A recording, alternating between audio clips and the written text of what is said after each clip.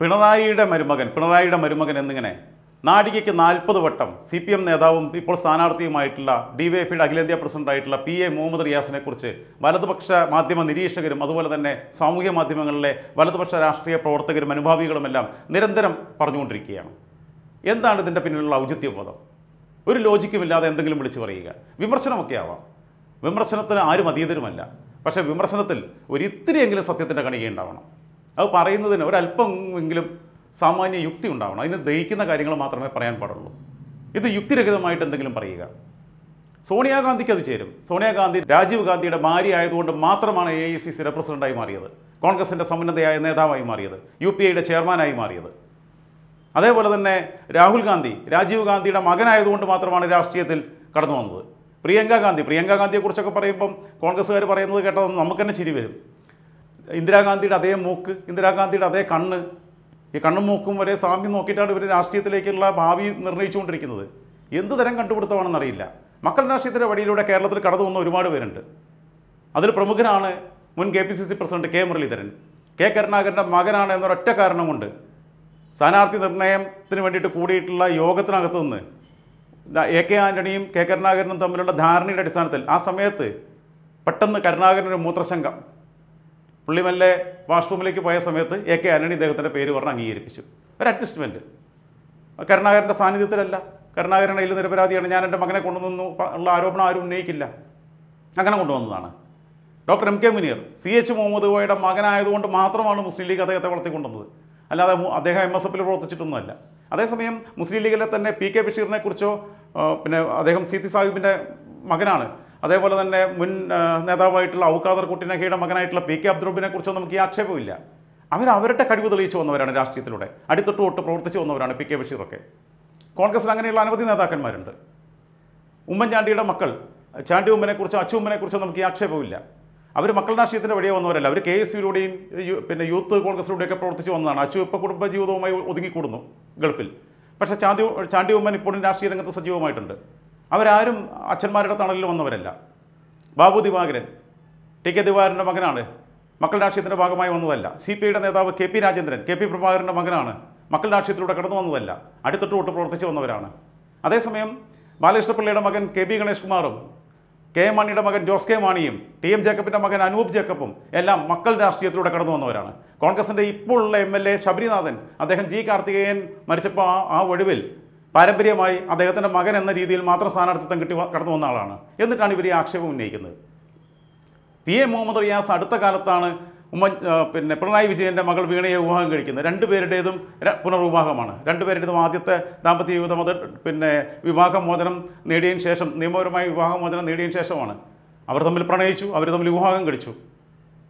അവർ മതേതര ജീവിതമാണ് നയിക്കുന്നത്. അങ്ങോട്ടും ഇങ്ങോട്ടും മതം മാറ്റാനോ മതം മാറാനോ ഒന്നിനും നിന്നിട്ടില്ല. മാതൃകാപരമായിട്ടുള്ള കുടുംബജീവിതമാണ് അവരെ ജീവിക്കാൻ അനുവദിക്കണം. പിണറായി വിജയന്റെ മകൾ എന്ന് കണ്ടിട്ടാവില്ലല്ലോ മുഹമ്മദ് റിയാസ് വീണയെ ഇഷ്ടപ്പെട്ടിട്ടുണ്ടാവുക. അതിനെങ്കിലും മാനിക്കണ്ടേ? മനുഷ്യന്റെ വ്യക്തി ജീവിതത്തെ മാനിക്കാനുള്ള ഉത്തരവാദിത്തം രാഷ്ട്രീയ നേതാക്കന്മാർ കാണിച്ചിട്ടില്ലെങ്കിൽ പിന്നെ ആരാണ് കാണിക്കുക? അതുമാത്രമല്ല റിയാസ് ഇപ്പോൾ സ്ഥാനാർത്ഥിയായപ്പോഴാണ് ഇത്തരം ഒരു ആക്ഷേപം ഉയർന്നു വരുന്നത്. പിണറായി വിജയന്റെ മരുമകന് സീറ്റ് കൊടുത്തു. പിണറായി വിജയന്റെ മരുമകനാണെന്നുള്ള ക്വാളിറ്റി നോക്കിയിട്ടാവില്ലല്ലോ സി പി എം സംസ്ഥാന കമ്മിറ്റി അദ്ദേഹത്തിന് സ്ഥാനാർത്ഥിത്വം നൽകിയിട്ടുണ്ടാവുക. അദ്ദേഹം രണ്ടായിരത്തി ഒമ്പതിൽ കോഴിക്കോട് ലോക്സഭാ മണ്ഡലത്തിൽ നിന്ന് പാർലമെന്റിലേക്ക് മത്സരിച്ച ആളാണ് അന്ന് ജയിച്ചിരുന്നെങ്കിൽ എം പി ആവുമായിരുന്നു. പക്ഷെ അവിടെ തോറ്റുപോയി എം കെ രാഘവനോട്. ഇപ്പോൾ അദ്ദേഹം മത്സരിക്കുന്നത് നിയമസഭയിലേക്കാണ്. ആറോ ഏഴോ നിയമസഭാ മണ്ഡലങ്ങൾ ചേരുന്നതാണ് ഒരു ലോക്സഭാ മണ്ഡലം.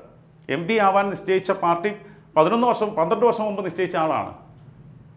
ഇപ്പോൾ ഇങ്ങനൊരു വിവാദം കടന്നു വരുന്നു മാത്രമല്ല മുഹമ്മദ് റിയാസ് കോളേജ് വിദ്യാർത്ഥിയായിരിക്കുമ്പോൾ തൊട്ട് തന്നെ എസ് എഫ് ഐയിലൂടെ കടന്നു വന്ന ഒരാളാണ്. വിദ്യാർത്ഥി പ്രക്ഷോഭങ്ങളുടെ മുൻനിരയിൽ നിന്ന് നയിച്ചിട്ടുള്ള ആളാണ്. ഒരുപാട് പോലീസ് അതിക്രമങ്ങൾക്ക് ഇരയായ ഒരു വ്യക്തിയാണ്. ഡി വൈ എഫിയുടെ അഖിലേന്ത്യാ പ്രസിഡന്റാണ് ഇപ്പോൾ. സി പി എമ്മിന്റെ സംസ്ഥാന കമ്മിറ്റി അംഗമാണ്. അദ്ദേഹത്തിന് അദ്ദേഹത്തിന്റെതായ നിലപാടും രാഷ്ട്രീയവുമുണ്ട്. ആ രാഷ്ട്രീയം വേറെ. പിണറായി വിജയന്റെ മകളെ കല്യാണം കഴിച്ചു എന്നത് അദ്ദേഹത്തിന്റെ വ്യക്തിപരമായ കാര്യമാണ്. അത് റിയാസും വീണയും തമ്മിലുള്ള ബന്ധമാണ്. അല്ലാതെ പിണറായി വിജയനും റിയാസും തമ്മിലുള്ള ബന്ധമല്ല. എന്നിട്ടാണ് ഈ മരുമകൻ വിളി വിളിക്കുന്നത്. ഈ മരുമകൻ വിളിക്കുന്ന ഇന്ത്യയിൽ ഏറ്റവും യോഗ്യനായിട്ടുള്ള ഒരാളുണ്ട്.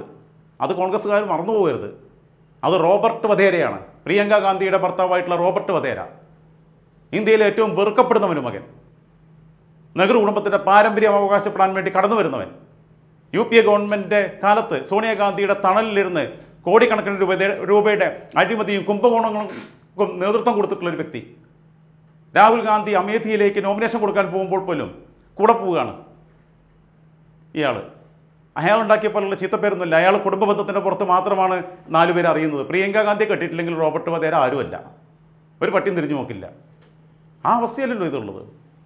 റിയാസിന് റിയാസിന്റെതായിട്ടുള്ള വ്യക്തിത്വമുണ്ട്. അതുകൊണ്ട് ഇത്തരം അധിക്ഷേപങ്ങൾ നടത്തുന്നവർ അത് നിർത്തുന്നതായിരിക്കും ഏറ്റവും ഉത്തമം. ഇല്ലെങ്കിൽ ചിലപ്പോൾ നാളെ തിരിച്ചും പ്രത്യാക്രമണങ്ങൾ ഉണ്ടായി എന്ന് വരാം. രാഷ്ട്രീയത്തിൽ മക്കൾ രാഷ്ട്രീയത്തിലൂടെ കടന്നു വരുന്ന മക്കൾ രാഷ്ട്രീയത്തെ അംഗീകരിക്കാനേ പാടില്ല. രണ്ട് മുന്നണികളിലുമുണ്ട് അതിലൂടെ കടന്നു വന്നവർ എന്നാൽ ഇതിലൊന്നും അല്ലാതെ കഴിവ് തെളിയിച്ച് രാഷ്ട്രീയത്തിലേക്ക് കടന്നു വന്ന ആളുകളും എല്ലാ മുന്നണികളിലുമുണ്ട് അതുകൊണ്ട് നമ്മുടെ മാന്യമായ രാഷ്ട്രീയത്തെ തിരികെ പിടിക്കാൻ പിണറായി വിജയന്റെ മരുമകൻ എന്ന ഒരു മേൽവിലാസത്തിലല്ല പി എ മുഹമ്മദ് റിയാസ് അറിയപ്പെടേണ്ടത്. സഖാവ് P A Muhammad Riyas D Y എഫിയുടെ അഖിലേന്ത്യാ പ്രസിഡന്റ് എന്ന രീതിയിലാണ് അദ്ദേഹത്തിന്റെ രാഷ്ട്രീയത്തോട് നമുക്ക് എതിർക്കാം. അദ്ദേഹത്തിന്റെ ഭാഗത്തു നിന്നുള്ള വീഴ്ചകളെ നമുക്ക് വിമർശിക്കാം. അതിനപ്പുറത്തേക്ക് പിണറായി വിജയനുമായി കൂട്ടിക്കെട്ടുന്നത് ശരിയല്ല. പിണറായി വിജയനെ നമുക്ക് എതിർക്കാം. റിയാസിനെ നമുക്ക് എതിർക്കാം. രണ്ടുപേരെയും ഒരുമിച്ച് എതിർക്കാം. കാരണം ഒരാൾ സി പി എമ്മിന്റെ പൊളിറ്റ് ബ്യൂറോ അംഗമാണ് ഒരാൾ സി പി എമ്മിന്റെ സംസ്ഥാന കമ്മിറ്റി അംഗമാണ്. ആ രീതിയിൽ ആ പാർട്ടിയെ എതിർക്കുമ്പോൾ ആ പാർട്ടിയുടെ നയങ്ങളെ എതിർക്കുമ്പോൾ രണ്ടുപേരെയും ഒരുമിച്ച് എതിർക്കാം.